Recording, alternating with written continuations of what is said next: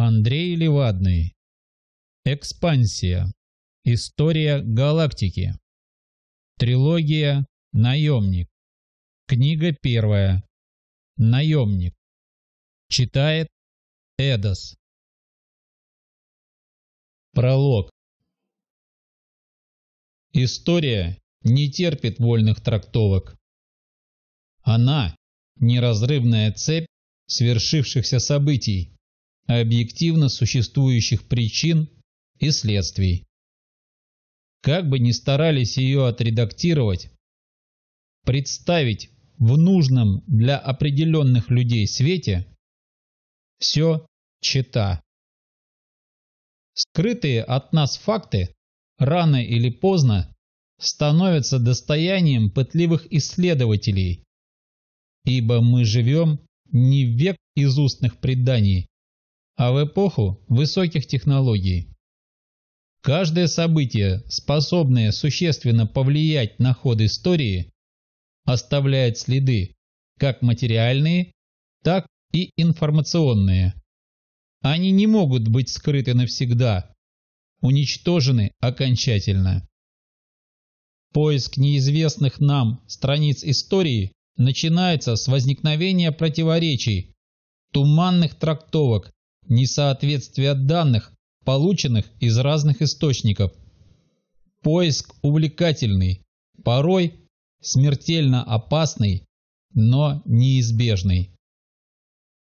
Как любой исследователь, ищущий истину, я вижу противоречия в ныне существующей официальной трактовке новейшего периода истории цивилизации и спрашиваю себя, могла ли галактическая война длившаяся три десятилетия, иметь движущей силой лишь притязание на жизненное пространство с одной стороны и ненависть к захватчикам, стремление любой ценой отстоять свои миры с другой. Математические модели, учитывающие реально существовавшие балансы сил, упрямо отвечают «нет». Галактическая война завершилась бы в течение трех-пяти лет. Я понимаю, невозможно оцифровать понятие «человеческий фактор».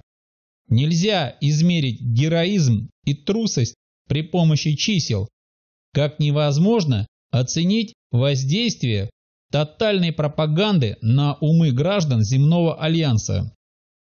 Однако существует ряд неоспоримых документально подтвержденных фактов, вот лишь некоторые из них.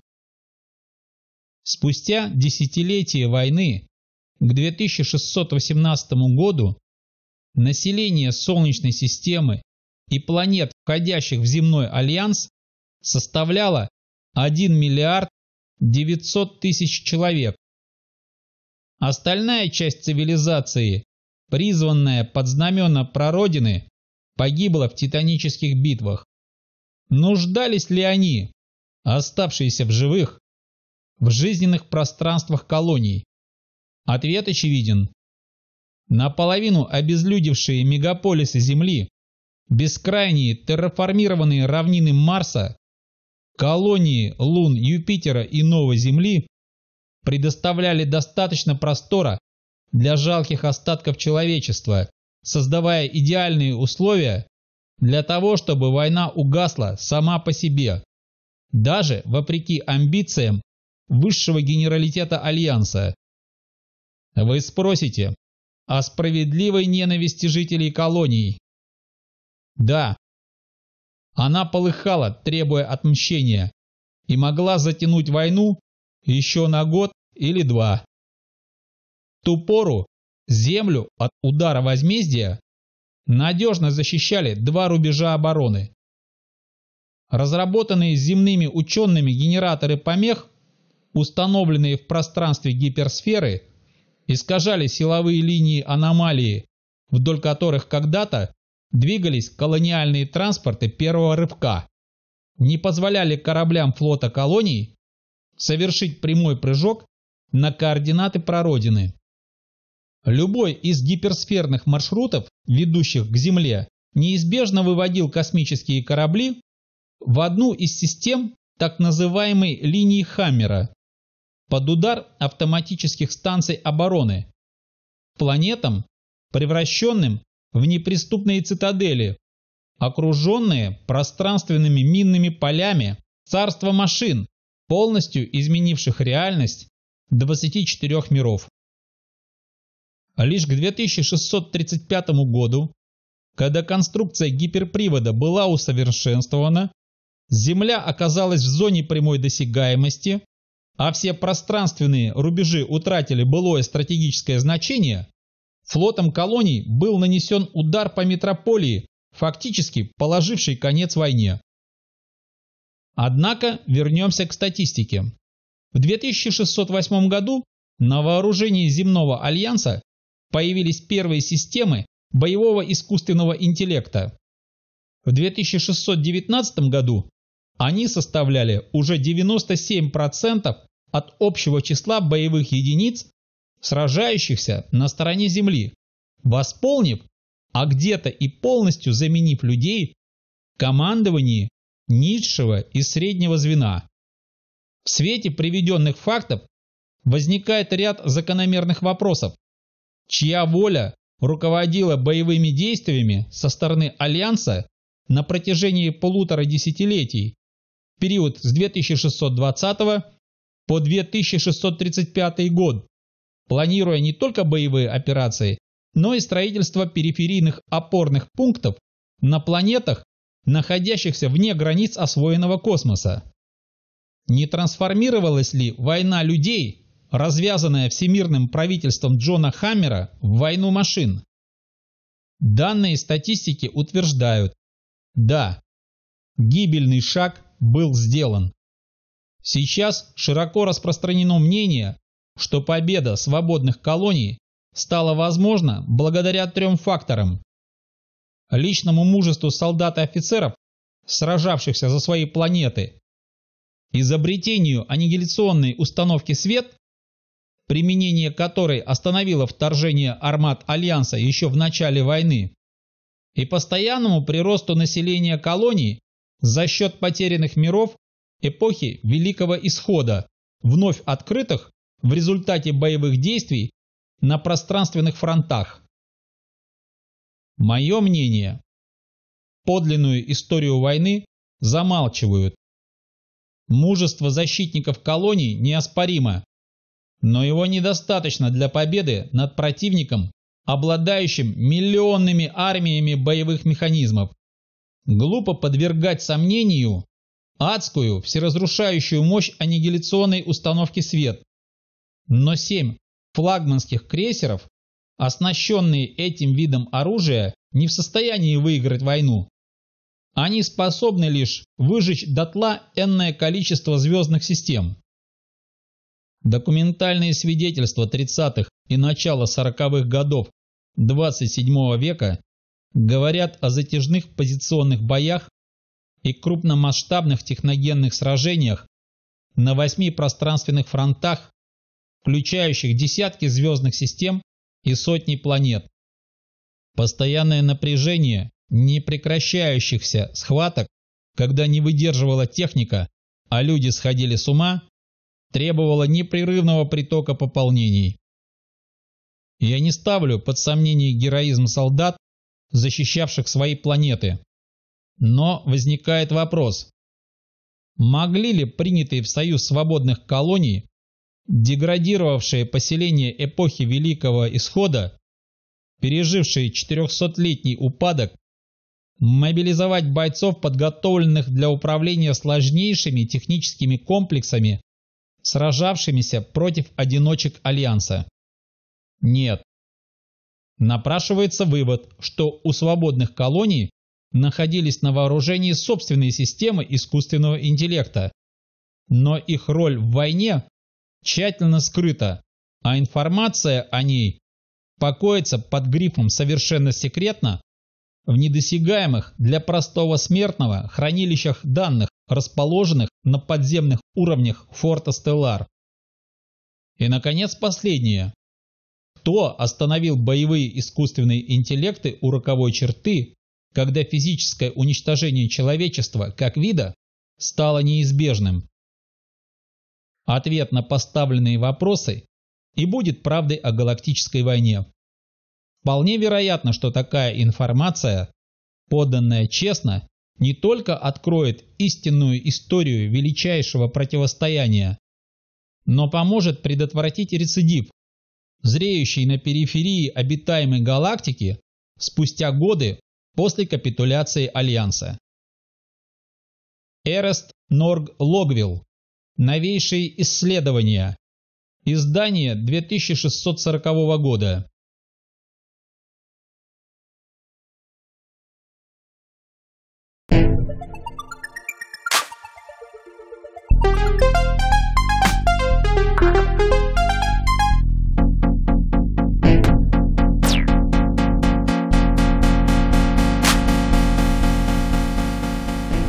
Часть первая. Глава первая. 2634 год по летоисчислению Земли. Граница исследованных секторов пространства. Планета Роуг. Опорная точка флота свободных колоний. Глеб не любил планеты. Он родился и вырос на орбитальной станции в системе лун Юпитера. Сознание, сформированное в условиях искусственного микроклимата среди отсеков и коридоров Исполинского космического дома, так и не сумело окончательно примириться с реальностью открытых пространств. Откровенное проявление фобий из него вышибли в учебном центре, где происходила подготовка пилотов боевых серф-машин. Но глубоко скрытая неприязнь осталась. В помещении врезанного в скалы временного командного пункта царил зеленоватый сумрак. Вдоль стен располагались блоки кибернетических систем. Десятки голографических экранов тускло сияли, отображая общие данные тактической обстановки. Неяркий свет стек-голографов ложился на лица людей землистыми, неживыми бликами. Командир батальона Перегудов дремал в кресле. В боковом ответвлении бункера два пилота серф-машин негромко разговаривали. Слышал последние новости? Алан Хорс потянулся за сигаретой, но передумал, покосившись на комбата, не выносившего табачного дыма. «Ты о чем?» Глеб устало помассировал виски. Голова ныла с самого утра.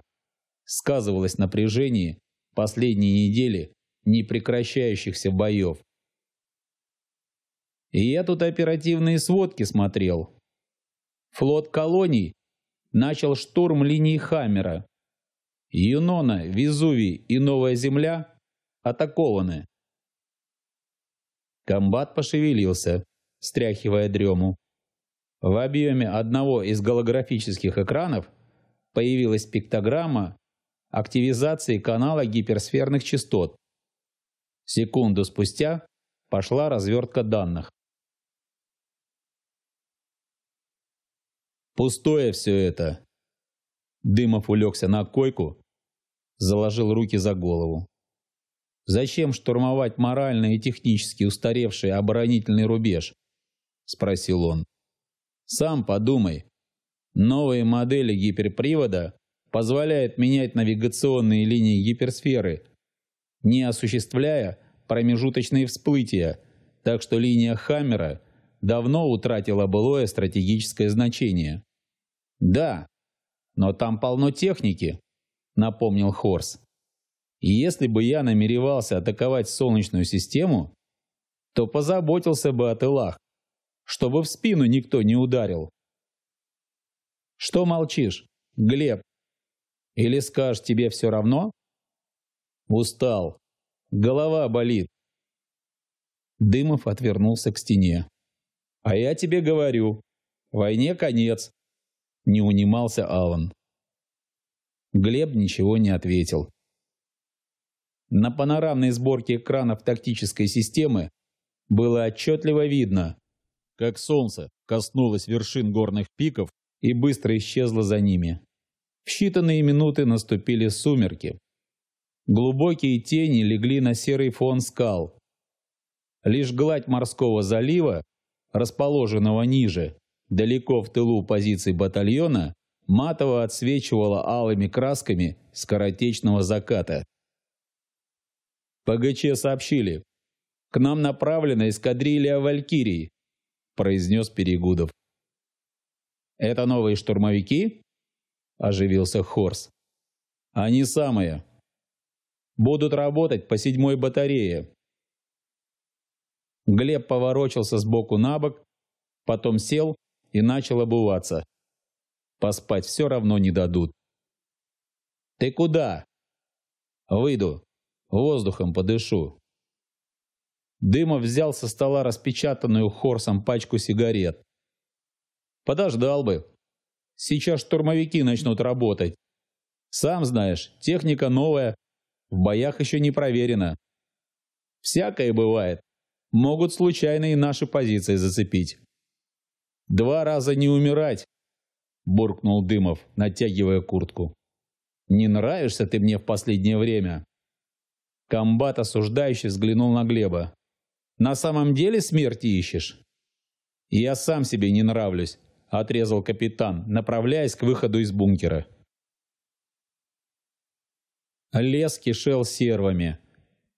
Под пологом маскирующего поля, накрывшего десятки квадратных километров горных склонов, ни на секунду не утихала жизнь механического муравейника. Тысячи автономных сервомеханизмов, не обращая внимания на человека, занимались неотложными делами, обеспечивая боеспособность батальона. Глеб остановился, мысленно отдал приказ на прямое подключение сканеров Кипстека к устройствам импланта. Но привычное для пилота восприятие двух накладывающихся друг на друга реальностей вдруг вызвало резкое чувство отторжения, неприятия. Тьма расступилась. Теперь он отчетливо воспринимал энергоматрицы, затаившихся под прикрытием маскирующего поля, штурмовых носителей класса Нибелунг 12НТ. К одному из них как раз подполз тягач, доставивший подбитый сегодня днем фалангер 180-й модели из состава штурмовой группы, пытавшейся подняться по ущелью. Остальные машины так и остались там, погребенные под завалами обрушившихся в результате ураганного обстрела скальных пород. Погибшее серб-соединение возглавлял майор Шагетов. Его вытащить пока не сумели. Связь с командиром мобильной группы оборвалась пять часов назад. Фрайг его знает, жив майор или нет. Возможно, что последняя передача данных велась уже не им, а модулем искусственного интеллекта серв-машины. Глухая, безысходная тоска острыми коготками царапала грудь, норовя добраться до сердца. Глеб отключил сканеры. Царство машин в минуты глухой неодолимой усталости вызывало неосознанный протест – все казалось неправильным, зашедшим слишком далеко. Ведь подсознательно он понимал, три человека на батальон – это ничтожно мало. Рано или поздно наступит и их черед.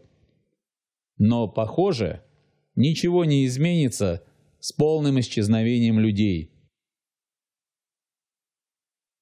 Сплюнув, Глеб запретил себе думать о копошащихся вокруг механизмах. Холодало рано. Звезды в небе тускло мерцали. Их призрачный свет искажался маскирующим полем. Вокруг темной массы громоздились скалы, среди которых едва угадывались позиции батальона, зацепившегося за склон у подножья горного массива. Некоторое время он машинально всматривался в небеса, но тщетно. Заметить невооруженным взглядом звено современных штурмовиков попросту невозможно. Да Глеб и не старался. Опустошенный, озлобленный, потерявший интерес к жизни, Дымов стоял, равнодушно созерцая окрестности. Вырезанные лазерами капониры пластались заплатками тьмы на фоне серого камня. Хищные контуры притаившихся в глубине укрытий серв-машин казались потусторонними призраками. Иней, испятнавший скалы сразу после заката солнца, вызывающе белел. Клочья маскировочной сети, разбросанные по краю свежей воронки, напоминали о трудном, но уже прожитом дне. Два сгоревших дотла остова боевых планетарных машин чернели возле узкого разлома ущелья, постоянно нашептывая «Ты на прицеле, а тебе помнят». Обстрел, прекратившийся час назад, мог возобновиться в любой момент. Роук – проклятое место. Отсюда не возвращались. Отправиться на Роук означало умереть. Без вариантов. Уже не первый год на истерзанной планете шли затяжные бои. Отдельный дивизион флота колоний, оборудовавший стартопосадочные площадки в глубинах горной страны, укрепивший позиции десятью сверхтяжелыми батареями противокосмической обороны, держался насмерть. Хотя ходили упорные и, по мнению Дымова, далеко не беспочвенные слухи, что в живых там не осталось никого, а господствующие высоты контролируют исключительно сервомеханизмы. Иначе сложно объяснить несгибаемое упорство защитников стратегически важной планеты. Кем я был 10 лет назад? Невольно подумал он. И сам же мысленно ответил – девятнадцатилетним подростком. А тут уже шли бои. Нет там живых. А может, никогда и не было. Он присел на выступающий край капонира, достал сигарету, прикурил. В черно-серой глубине укрытия притаился его фалангер с бортовым номером 17. Сканеры серф-машины тут же отреагировали на крохотный источник тепла от уголька сигареты, мгновенно прикрыв пилота дополнительным маскирующим полем. Мимо, царапая металлом о камень, резво пронеслась группа штурмовых сервомеханизмов. Промелькнув сумеречными тенями, они исчезли во мраке, направляясь в сторону ущелья. Глеб глубоко затянулся. Говорят, от судьбы не уйдешь. А что такое судьба? Он усмехнулся внезапным мыслям, четко представив окружающую действительность. Армия сервомеханизмов, затаившаяся на склонах горного хребта, ждет приказа на очередной штурм господствующих высот. Они не ощущают обреченности. Им неведомы чувства. Разве что синтезированные сознания некоторых из искусственных интеллектов, управляющих сервмашинами, испытывают некий эквивалент повышенной нервозности перед боем. Но они – случай особый. Синтетические личности, существующие на основе нейросетевых модулей, некоторых одиночек, не в счет. Они не люди и не сервы. Нечто среднее, одинаково чуждое как для человека, так и для кибернетических систем. Сигарета дотлела, обжигая пальцы. Глеб раздавил окурок ногой. Два сонмища боевых машин ждут рокового приказа. И еще немного, и они ринутся уничтожать друг друга. И судьба горстки людей, оказавшихся среди ведущих бескомпромиссную борьбу кибернетических исчадий, сгореть в предстоящей схватке. Тьма скалилась серыми тенями. Холод заползал под одежду, и его личное, субъективное падение в пропасть завершилось. Он достиг дна. Больше не осталось иллюзий. Да и цель жизни потускнела и стерлась, словно подметка старой обуви. Глеб зло усмехнулся набившим оскомину мыслям. Гримаса горечи исказила черты лица. Десять лет назад ему, как многим другим подросткам, бросили обглоданную уже не раз и не два использованную кость надежды, обернутую в красивую упаковку пустых обещаний. Тогда казалось, нет ничего хуже, чем прозябание в опустевших мегаполисах Земли. Душа рвалась прочь от серых унылых стен, и вербовочный пункт военно-космических сил, куда зазывала яркая голографическая реклама, казался вратами в иную жизнь. Потом был учебный центр Юноны и полигоны Везувия. Надежда умирала долго, и ее выдавливало постепенно, от боя к бою, от одной потери к другой. А лица друзей, тех, с кем он когда-то вместе покинул Солнечную систему, серыми тенями скользили во тьме. Никто из них не дожил до обещанных побед. Никто не получил своего райского уголка на далеких планетах, да и не мог получить, потому что за спиной серв соединения Альянса оставался лишь прах, выжженный дотла земли. Глеб сопротивлялся дольше других. Он прошел через все. Познал и липкий удушливый страх, и неистовое, граничащее с помешательством животное желание жить, уцелеть в техногенном аду. Затем будни войны взяли свое, и на смену инстинкту самосохранения пришел губительный азарт. Познав глубины полного нейросенсорного контакта с подчиненной кибернетической системой серв-машины, Дымов стал сдержан, холоден, логичен, но в его усталом воспаленном взгляде теперь таилась искорка безумия. В часы и дни затишья между боями он впадал в глухую депрессию, жил ожиданием новой схватки, очередной возможности еще раз пройти по тонкой грани между жизнью и смертью, ощутить слияние рассудка с мощью кибернетического механизма, выстоять там, где не выдерживал металл и его душа медленно погибала. Но Глеб не понимал этого. Однажды, в последней попытке защититься, она заснула летаргическим сном, не в силах вынести боль потерь, не принимая подступающего в бою безумия.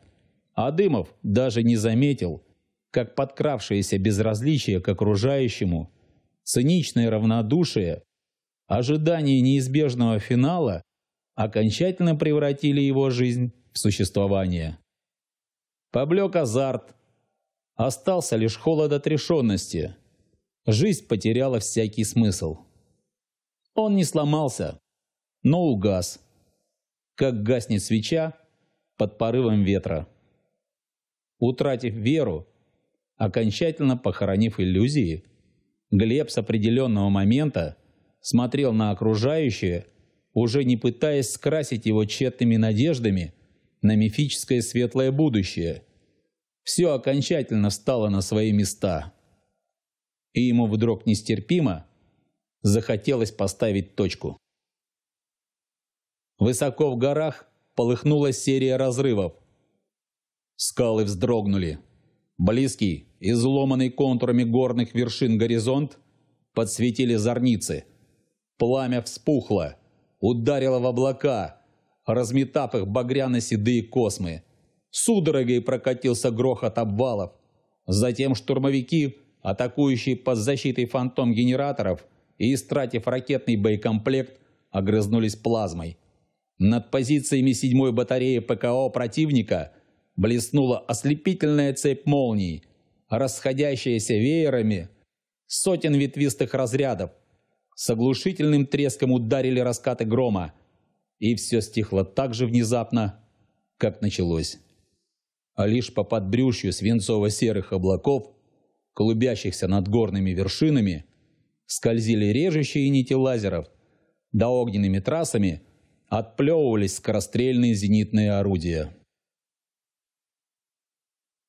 Из укрытия появилась широкоплечая фигура, Командир батальона полковник Перегудов взглянул в потемневшие небеса, словно рассчитывал увидеть там нечто большее, чем продемонстрировали ему мониторы боевого тактического комплекса.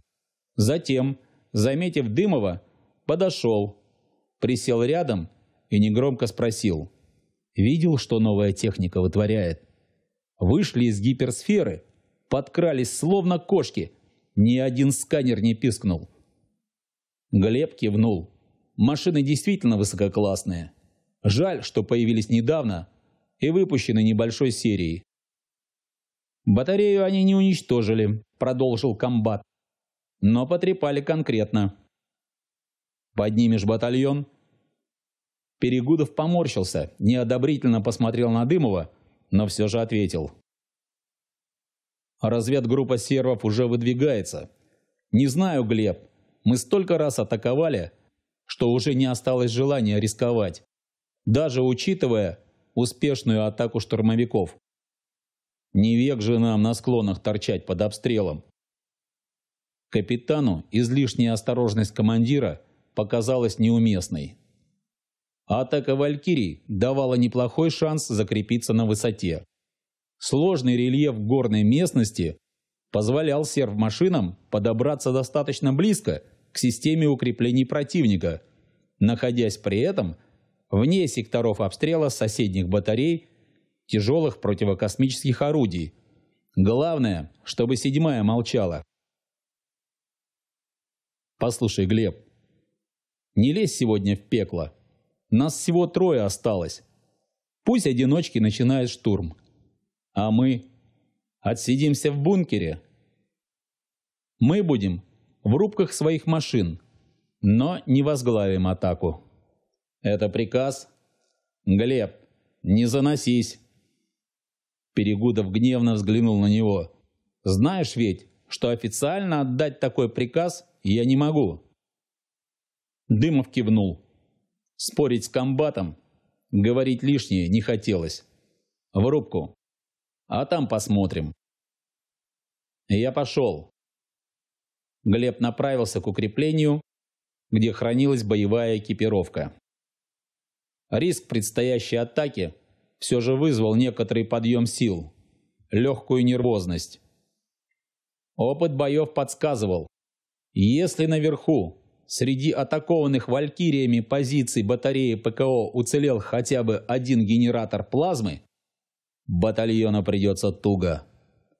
За последние годы системы плазменных вооружений превратились в грозную силу. Пример тому – атака штурмовиков – Двигаясь на малых высотах, они ракетным ударом взломали защитные диэлектрические слои, изолирующие бункерную зону противника, а затем сбросили сгустки временно стабилизированной плазмы. При разрушении эти сгустки спровоцировали возникновение шквала из тысяч мощнейших электрических разрядов, которые человек Истори привык обозначать термином «молния». В идеале Комбинированный ракетно-плазменный удар должен полностью разрушить или привести в состояние временной негодности до 90% кибернетических систем и связанных с ними исполнительных комплексов. Но как произошло на самом деле, насколько глубоко проникли разряды в недра бункерных зон, покажет только разведка боем. Глеб подошел к нише с бронескафандром приложил личный кадон к окошку сканера. И сервоприводная оболочка, считав полномочия пилота, пришла в движение, открывая доступ. Машинальным, отработанным до автоматизма движением, Дымов развернулся, сделал шаг назад, ощутив мышцами спины упругое сопротивление внутренней термоизолирующей и амортизирующей оболочки боевой экипировки. Внешний мир тут же померк. Истончился. А осталось лишь ощущение вибрирующей дрожи от работы сервомоторов, сдвигающих на место бронепластины. Затем включились электромагнитные замки. Сухо щелкнула дублирующая механика. Сотни датчиков плотнее прижались к телу. И ощущения внезапно трансформировались. Это приемопередающий комплекс импланта установил прямой контакт с подсистемами бронескафандра. Дымчатое проекционное забрало шлема разделилось на несколько оперативных окон, куда начала поступать информация от БСК «Аметист». Границы восприятия окружающего резко раздвинулись. Теперь Глеб видел не только предметы, но и энергетические сигнатуры, поддающиеся обнаружению при помощи встроенных в скафандр сканеров. Загрузка командного интерфейса завершилась. Нервозность исчезла. На фоне ледяного спокойствия непроизвольная мышечная дрожь пробегала жаркими волнами. Мощь сервоусилителей боевой брони особенным образом воздействовала на разум, меняя мировоззрение.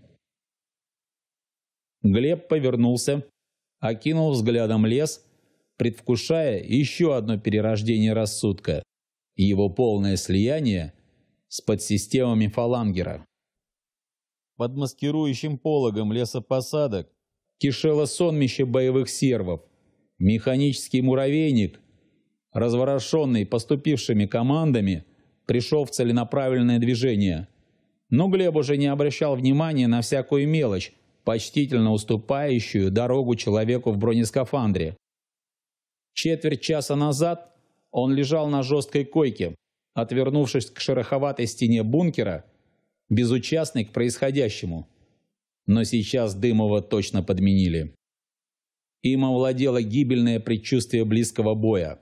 Что бы там ни говорили военные медики, но адреналиновый голод тут ни при чем. Он лишь бледная тень той зависимости, что развивается в результате прямого нейросенсорного контакта между человеком и искусственным интеллектом сервмашины. Существует грань, шагнув за которую, вернуться назад уже невозможно. Для каждого пилота она разная. Многие погибают в кресле пилот-ложемента, не в силах возвратиться обратно, в серый унылый мир, где практически не осталось ничего живого, где любой серв, случайно зацепив тебя, способен ненароком искалечить. Человек, познавший ритмику техногенного боя, уже не видит в реальности ничего более яркого, слепящего, стремительного. Любое ощущение – лишь тень прожитого там, за чертой. Существует мнение, что пилоты серв-машин – кровожадные отморозки. Чушь. Глеб не убил ни одного человека. Люди попросту не встречались ему на полях сражений – где сходились в схватке тысячи сервомеханизмов. Война еще до его рождения ушла за грань, сожрав практически все человечество, но боевые машины, призванные заменить своих погибших создателей, продолжили безумное противостояние, придав ему новый, уже запредельный для живых существ импульс. Глеб относился к особому поколению, рожденному в период войны. Он, как и миллионы сверстников, вырос в полностью автоматизированном мире, с первыми осознанными впечатлениями, впитал сокровенную суть понятия «техносфера», чаще общаясь с искусственными интеллектами, нежели с людьми. И ему с детства внушали «для избранных смерти нет», какой смысл страшиться неизбежного? Ведь человеческое тело несовершенно. Оно, рано или поздно, стареет, изнашивается и погибает в силу естественных причин. И есть лишь один способ изменить установленный природой порядок вещей. Доказать, что ты лучший, первый среди равных. Шагнуть за предел человеческих возможностей, соединив рассудок с искусственным интеллектом боевой машины. Сражаться, ничего не опасаясь, ведь разум пилота не умирает. Он после гибели тела продолжает жить в нейросетевых модулях одиночки. Глеб верил постулатам этой новой религии. Десятки его боевых товарищей оживали там, в иной реальности. Извращенная, Порожденная войной психология, невозможная для человека, родившегося и выросшего в обычных условиях, стала для Дымова новым смыслом жизни. Бытие определяет сознание. Древняя истина нашла еще одно подтверждение. Глеб вырос среди машин. Человеческие радости и горести бледными тенями прошли мимо. И только в бою, на пике возможностей рассудка, он ощущал себя хозяином собственной судьбы. Он умел различать искусственные интеллекты одиночек, безошибочно классифицировать их, пренебрегая эрзац-сознаниями, чутко ощущая, в каких нейросетях сохранилась матрица рассудка настоящего человека, а в каких она лишь заводская запись. Он бессмысленно страдал между боями, не понимая ни себя, ни других. Часто не находил общего языка с Перегудовым и Хорсом. Они были старше, помнили довоенный мир, их страшила смерть волновали события, связанные с ее неизбежным приходом. Дымова не заботила судьба Земли. За 10 лет непрекращающихся боев он растерял большинство идеалов, похоронил прежние мечты и надежды, но не обрел новых. У него развилась жесточайшая психологическая зависимость. Мир вне прямого нейросенсорного контакта с кибернетической системой казался невыносимым, замедленным, бесцветным. Хотелось туда, в иное измерение, но уже навсегда. Текущая боевая задача манила. В ней, как никогда прежде, ощущался предельный риск. Капонире, где затаился фалангер Дымова, царила антрацитовая тьма. Глеб пересек границу маскирующего поля и обстановка вдруг резко изменилась. Из мрака проступили контуры боевого сервомеханизма, источающие ощущение неукротимой мощи. Для пилота исполинский механизм значил намного больше, чем боевой друг или живое, близкое по духу существо. Восприятие титанической силы смягчалось неразрывными узами глубоких психологических взаимосвязей между человеком и кибернетической системы искусственного интеллекта. Их духовное тождество зачастую принимало самые невероятные, необратимые формы, классифицируемые психологами как тяжелейшие виды зависимостей, психических расстройств, но страдали ими не только люди.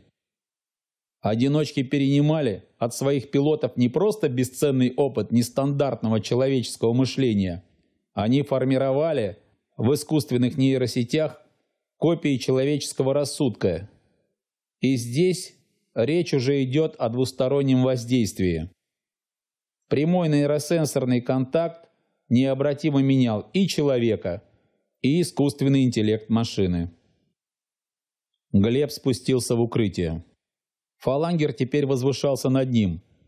320-я серия по праву считалась венцом технической мысли каждый сантиметр активной брони, под которой за трехслойным корпусом скрывались десятки тысяч подсистем, каждый агрегат, сервоприводный узел, огневая точка или сканер прошли отшлифовку в боевых условиях и были доведены до состояния некоего конструктивного абсолюта. 80 тонн кибернетики, металлокерамики, оружия, для кого-то верный боевой друг, для кого-то необузданный зверь, исчадие высочайших, далеко опередивших свою эпоху технологий. Дымов не задавался вопросом, кем является для него затаившийся в глубине капонира сервомеханизм. Они прошли вместе через столько смертельных испытаний, что уже не мыслили жизнь друг без друга. Для Глеба искусственный интеллект фалангера был ближе, понятнее и дороже любого человека, с кем сводила и беспощадно разлучала судьба за годы войны. А как иначе? Прямой нейросенсорный контакт – это шаг за предел обычных человеческих возможностей. переход в иное измерение, на другой уровень восприятия окружающего мира и всего происходящего в нем. Сложно выразить словами внезапные и необратимые перемены, наступающие в тот миг, когда рассудку впервые открывается совершенно иная реальность, и блеклый день вдруг распахивается навстречу, взрываясь красками неведомых ощущений. Сенсорика машины открывает перед пилотом неведомую вселенную, где он способен видеть, слышать, ощущать в миллионы раз сильнее, ярче, проживать за краткие мгновения целые эпохи, воспринимать окружающий мир посредством мощнейших сканирующих комплексов, не отделяя ни одну из исполнительных подсистем машины от своего тела и разума. Пространство техногенного боя требует от человека предельной мобилизации моральных и физических сил. Доли секунды порой спрессовывают в себя больше информации и событий, чем вмещают иные годы жизни, и при таком невероятном напряжении полное слияние человеческого рассудка и кибернетической системы неизбежно. Те, кто не в состоянии принять иную данность, просто сходят с ума еще до того, как боевая машина успевает отработать первый такт сложнейшего действия под названием «шаг». Пилотами не рождаются, ими становятся однажды и навсегда. Модуль искусственного интеллекта «Беатрис» отвечал Глебу взаимностью. Иначе и быть не могло. Ведь одиночка без человека все равно, что калека. Заводской модуль, как правило, чист. У него нет опыта, нет эмоций, привязанностей. Лишь холодная рассудительность, ведущая человека и машину по краю гибельной пропасти. Пока происходит взаимная притирка двух рассудков, они оба балансируют на грани, но, выжив в первых боях, машина и пилот превращаются в две половинки единого целого. Искусственные нейросети-одиночки обучаются с немыслимой скоростью. Кристаллосхема искусственного интеллекта аккумулирует в нейронных сетях матрицу личности человека и начинает мыслить в унисон с ним, подхватывает каждое ментальное усилие, все реже и реже ошибаясь в толковании приказов и намерений пилота – для Глеба его фалангер являлся не монстром, не норовистым зверем, а живым, одухотворенным существом, продолжением собственного «я». Мысли, проносящиеся в голове, не мешали Дымову действовать. Он прошел по узкой, оконтуренной искорками точечных сигналов дорожке, машинально отметив, что процесс предстартовой подготовки практически завершен. Фермы стационарного обслуживания все еще находились на месте, замыкая корпус машины в ажурный каркас. Но загрузочные люки арт-погребов уже сомкнулись. Глухой вой сервомоторов, передающийся по земле вибрации, движение бронированных кожухов, встающих на место после проверки, все свидетельствовало о финальной стадии готовности к предстоящему бою. Дымов встал на овальную плиту, оконтуренную желтыми индикационными сигналами, и вариатор локальной силы тяготения тут же заработал, поднимая пилота на 15-метровую высоту. В сумеречном освещении капонира мимо проплывали закрытые трехслойной броней детали боевой машины. Два ступохода, помимо приводов и сложных соединений, обеспечивающих устойчивость фалангера на любых типах рельефа, были усеяны датчиками самостабилизации, сканерами, огневыми точками, шарнирными гнездами лазерных трубок автоматической зенитной подсистемы. Наиболее уязвимые места конструкции были покрыты сегментами активной брони. Через каждый метр виднелись выпуклости контейнеров, содержащих колонии ремонтных